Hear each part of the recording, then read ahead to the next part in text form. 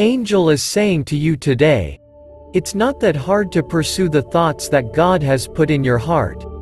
It takes some effort to convince yourself that you are qualified for the position. But after you've done that, it's just a matter of you doing your part and giving God time to do His.